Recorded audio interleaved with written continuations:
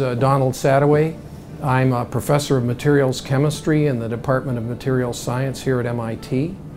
And I'm also a co-founder of Ambri and uh, presently act as their chief scientific advisor and a member of the board of directors.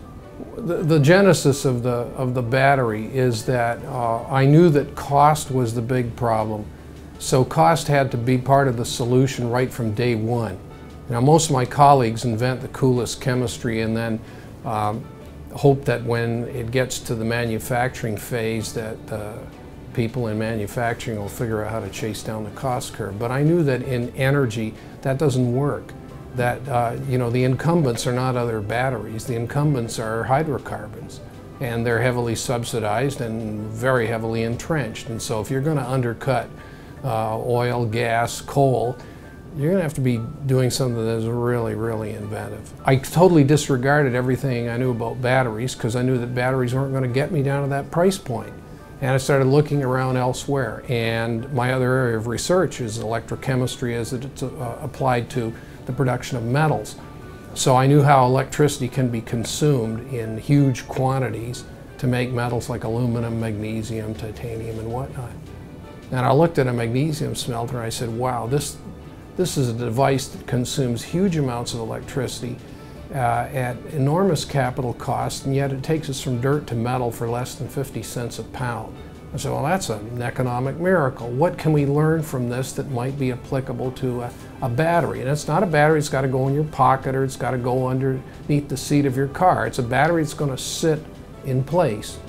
And that was, that was the genesis of, of, of the idea to look at uh, well, aluminum smelter knows how to consume vast quantities of electricity. Can I teach an aluminum smelter how to store that electricity and give it back on demand? My name is David Bradwell. I am the co-founder and chief technology officer at Ambri, a company that I, along with uh, Professor Donald Sadoway, spun out of MIT back in 2010. At Ambri, we believe in a lower cost, more resilient, and cleaner energy future. We are developing a large-scale energy storage technology for the electric power grid to support intermittent renewables like wind and solar, as well as just increase the resiliency of the, of the grid overall. This project started back in 2005. Uh, I was a graduate student uh, looking for a thesis to work on, and Professor Don Sadoway had a very interesting idea based on a, a conceptual um, mechanism for storing large amounts of, uh, of energy uh, from the grid. Uh, we started working on this project uh, really with the early intent of wanting to commercialize it someday. Uh, we spent a number of years working in the lab to move the technology forward, discovering new chemistries uh, and demonstrating fundamental cell performance. Ambri's battery technology that was developed at MIT is unlike any other battery chemistry out there. In our cells, all three active, active components are liquid. We have a liquid metal electrode which pools on the bottom of a cell container, a molten salt which floats on top of that, and then a third liquid metal layer which floats on top of the salt.